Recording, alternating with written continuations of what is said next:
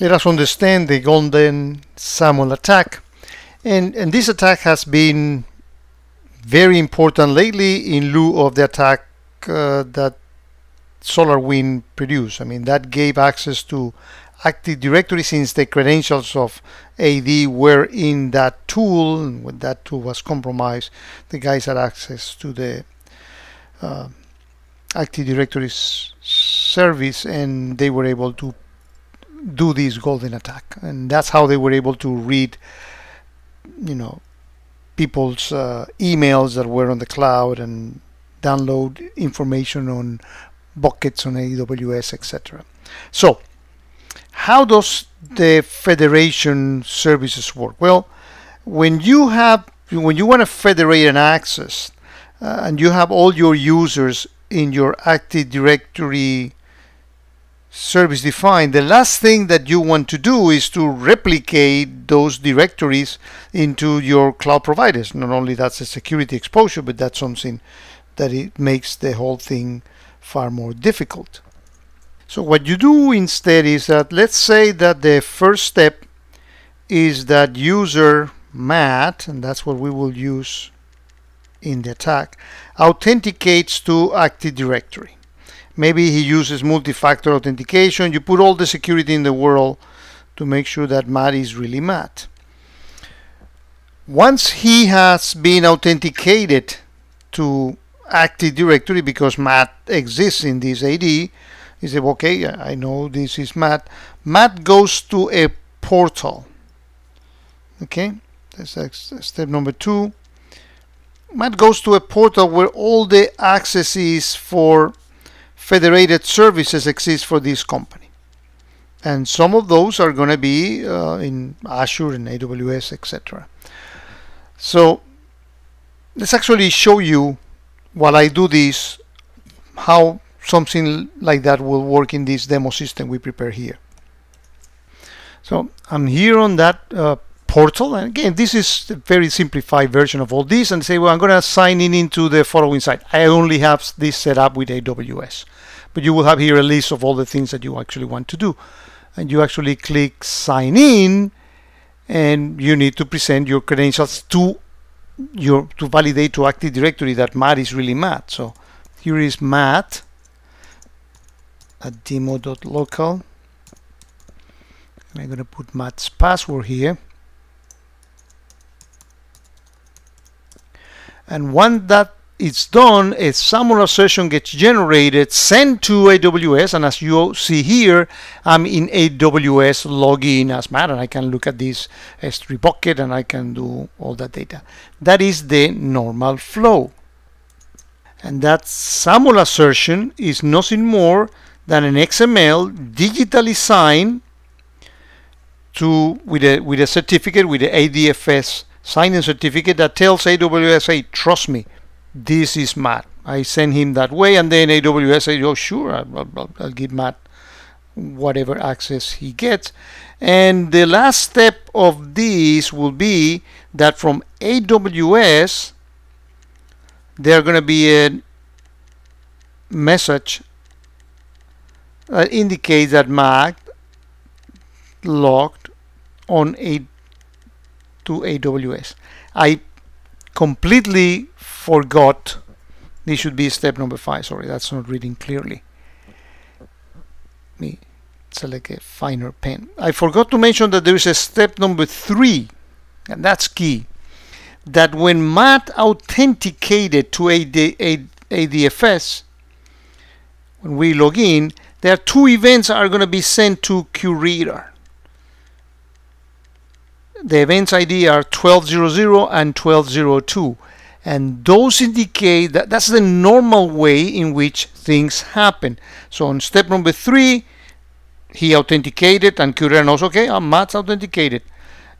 Step number four, the SAML session gets sent, and then number five is when we get that that indication. So as you can see, if we get the step number five, which is those that, that Matt log in into AWS without previously having received these two events 12.0.0 and 12.2 that that indicates something strange. And that's precisely the golden SAML attack. And here we are in the log activity tab in QRadar. We put a filter when the username contains any of that. And here we, we see those two events. The first event is event ID 1200. That indicates the normal authentication to Mr. Matt. And the other event is the validation of the credentials and is event ID 12002. So that's the normal flow when things are good. All we need to complete this good cycle is to wait for the AWS logs to come and those takes around 15 minutes to come because of the poll interval that we have set up here. And uh, so I'm going to pause the video until we get the normal authentication logs from AWS saying, hey, Matt just logged in. While we wait for those logs to come, if you go into the Xforce Exchange and you search, put the word Golden SAML, you will get this collection. This has two things. One is this file that you can download which contains the rule that will fire when the run sequence from the attacker will take place. And also, if you click here on this link, you will go into a fantastic explanation that our bright Mutaz has created that explain how a SAML assertion works uh, for uh, for this uh, attack. And all the steps we actually I actually went through with through these uh, steps with Mutaz and we actually collected the information that the attacker needs and we are going to use that uh, shortly after. And here is all these uh, steps are explaining great deal of uh, detail in here. But I'm not going to go through those uh, because that will make the video way too complicated and way too long. But here they are for those who are interested in those details. So here are the events that we were waiting for that came from the AWS instance uh, that Mutaz created. Well, now I'm gonna do what the attackers has been doing because I with all that description that Mutaz so well put and we did we obtained the capability of signing SAML assertions. So I'm gonna be sending a SAML assertion with a user that doesn't even exist in Active Directory called Tiger. And then you're going to see, I'm going to do that from a Linux machine, and you're going to see that I will gain access to the AWS. For first, I will prove that I don't have access to a uh, S3. Then I send the SAML assertion. I now have access to the S3 bucket. And you'll see that QRadar will receive the, the, the fact that user Tiger log into into AWS, but there's no event 1200 and 1202 for Tiger. Therefore, an offense will fire. So I'm here in a Linux machine, happens to be my Kali machine, but I'm not using any anything from Kali here. And I'm invoking the history here to the command uh, that I have that and well I'm on the wrong directory. But let me read the explain the command. Basically I'm using a tool called Shimit that was created by the guys from CyberArk when they discovered the golden attack. And uh, here are the parameters for the actual login. And I'm using my certificate uh, to produce the SAML assertion with this Shimit tool and that gets sent uh, to AWS so let me actually I believe that my problem is that I need to be into the desktop directory and then go into Shimit.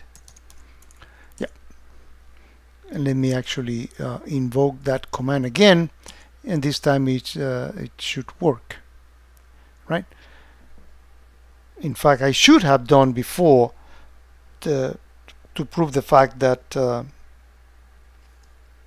that if I do AWS before the attack S3 and I do an LS uh, that I could, and now I can see it. If I would have done this before the attack, you would have seen that I would say you don't have credentials to to get that from S3. So forgive me for skipping that part, but uh, this is actually going straight with the SAML assertion into AWS. Again, Tiger doesn't even exist in Active Directory, but AWS said, fine, you have a valid uh, uh, SAML assertion, so I'll let you in. And, and, and the this attack is so nasty because in order for you to recover, besides all the things that you need to recover from from this attack, you will need to reset all the credentials with all of your federation. So that's going to generate some significant uh, disruption, but you definitely have to do that. I'm going to wait 15 minutes until the time passes for the rule to evaluate that receives the AWS from this Tiger thing, and there's no events from the normal authentication to AD uh, for that tiger guy. So pausing the video until then. And after those 15 minutes pass, actually I wait a little longer than that, when we put this filter user contain any of tiger, we see that we got two events that contribute to an offense because they are with the user tiger that did not have those two initial normal events. And here you have the corresponding offense now you know what the golden attack is and how to set your QRadar rule to detect when that happens. There is an additional video that I show on how you make sure that you get ADFS logs getting into QRadar in case you don't have those already set up.